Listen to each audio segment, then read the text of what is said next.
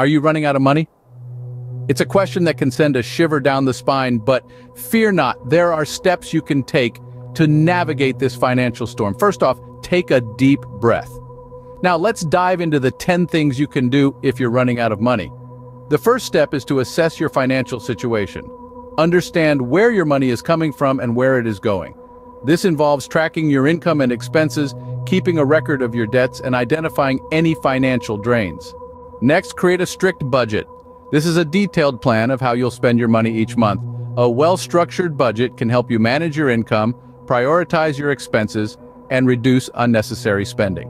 Speaking of unnecessary spending, the third step is to eliminate unnecessary expenses. This could mean cutting back on dining out, canceling unused subscriptions, or even downsizing your living situation. Remember, every little bit counts. The fourth step is to increase your income. This might involve taking on a part-time job, freelancing, or selling unused items. It's not always easy, but it's a crucial step in getting back on your feet.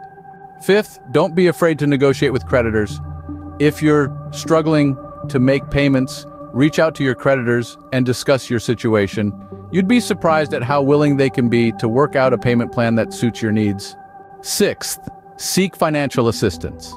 There are many organizations out there that offer financial assistance to those in need. This could be in the form of food banks, utility assistance, or even housing support. Seventh, tap into emergency funds or savings.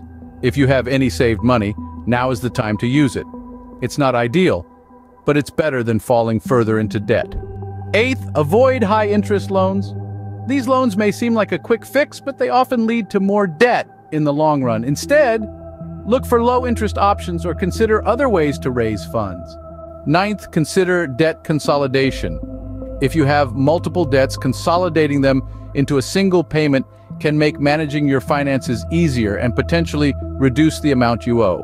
Finally, seek professional advice. Financial advisors or credit counseling services can provide valuable guidance and help you create a plan to get back on track. To sum up, if you're running out of money, don't panic. With patience and perseverance, you can navigate this financial storm and come out stronger on the other side.